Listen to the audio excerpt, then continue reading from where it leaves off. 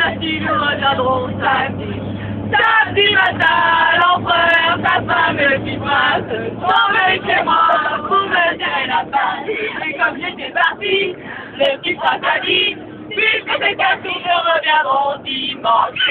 Dimanche matin,